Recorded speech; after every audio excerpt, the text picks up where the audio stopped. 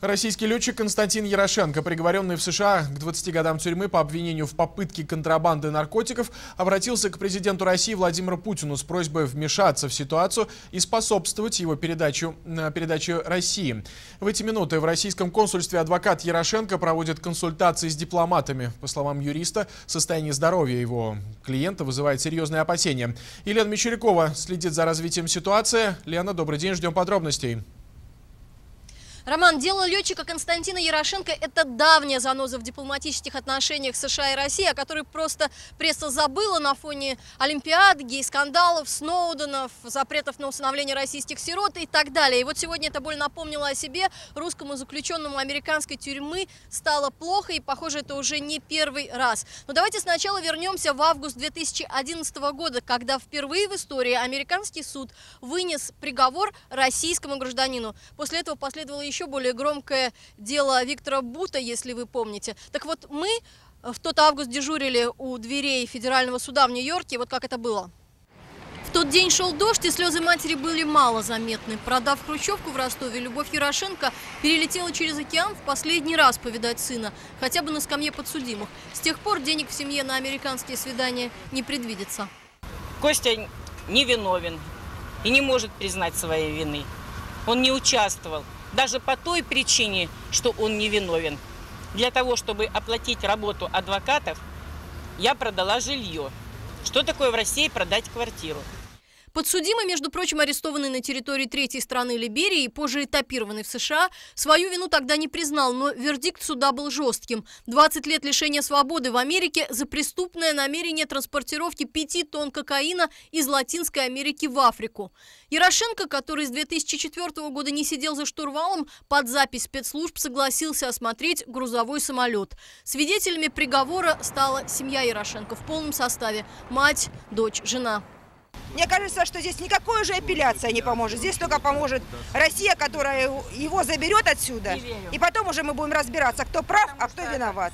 С тех пор прошло больше двух лет, исчерпаны все апелляционные возможности и, похоже, все душевные и физические силы первого американского заключенного из России. Тогда, два с половиной года назад, э, и мне, и собравшимся у суда журналистам казалось, что призыв передать Ярошенко из американской тюрьмы в российскую – это всего лишь крик души отчаявшейся женщины, но на самом деле правовые механизмы такой передачи существуют, и именно их пытается задействовать сегодня адвокат Константина Ярошенко. Мы связались с ним по телефону. Что касается правовых механизмов передачи Константина в Россию, таковые механизмы существуют. И главный из них это Конвенция Совета Европы о передаче заключенных. Константин был запрошен российским правительством и, в частности, Минюстом России по этой конвенции.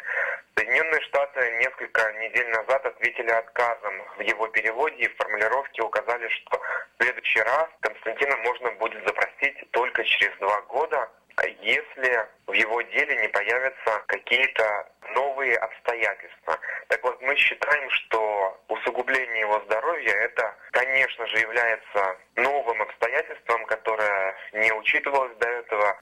По словам адвоката, его подзащитный сейчас находится в прединфарктном состоянии, и любой из 11 сокамерников Константина Ярошенко может подтвердить, что у него периодически бывают трудности с дыханием. Сам Алексей Тарасов был у него буквально вчера, и вот что он нам рассказал. Он болен, на мой взгляд. У него было красное лицо, он кашлял, брал паузы в ходе разговора, чтобы отдышиваться и э, нормализовывать свое дыхание. У него масса, на самом деле, хронических заболеваний, а также большие проблемы со здоровьем, которые а, стали следствием пыток, а, перенесенных им в Либерии.